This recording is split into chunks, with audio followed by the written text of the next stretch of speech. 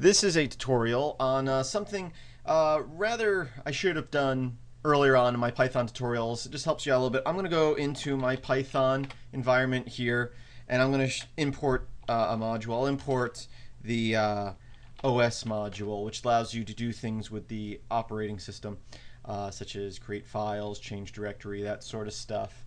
Um, so now we have OS imported, but how do we use OS? Uh, and I can show you how to get some options from the OS that you just imported. We're going to do dir, and then inside parentheses, we'll do OS now since that's been imported. We click enter, and it gives a long list of available functions of that module you imported. Uh, so here's one path.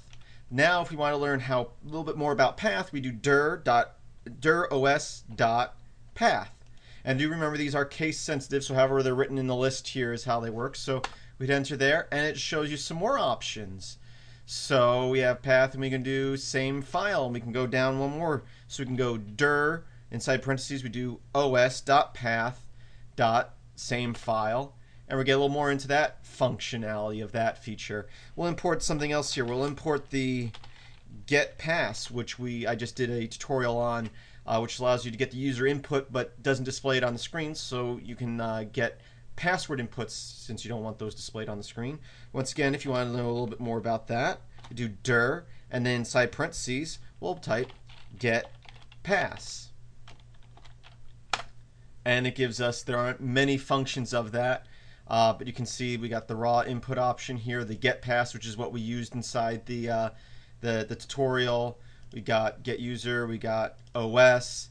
I don't know what all these do. And this is more of, it doesn't necessarily tell you exactly what everything does, but it's more of a refresher. If you know how something works uh, and you just forget exactly what the option is, I find this very useful. I don't know what the OS function is with get pass. I can hit that. Oh, there's a lot of options in there. We can do wait, wait three, wait four. And now, even though I may not know what some of these do, uh, I can I can now Google them.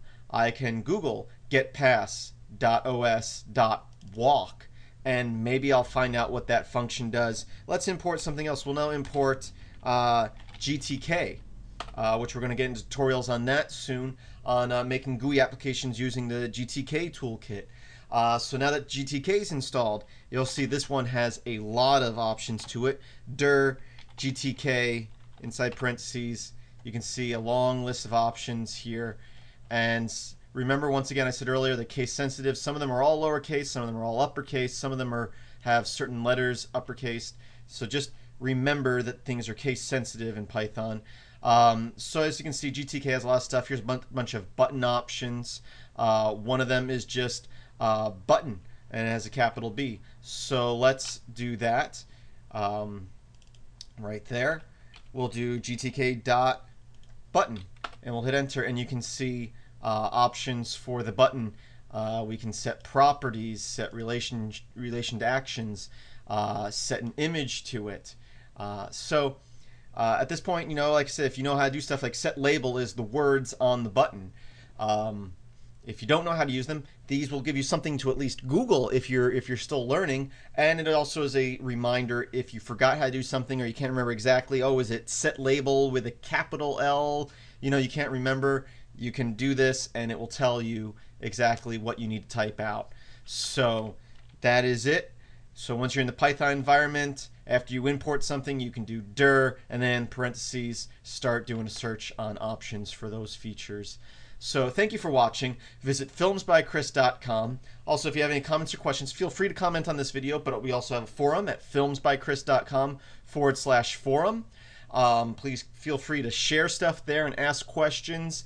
Uh, and hopefully we can get a good community going there to help each other out. And also chat with us at uh, Freenode at uh, the channel is Films by Kris.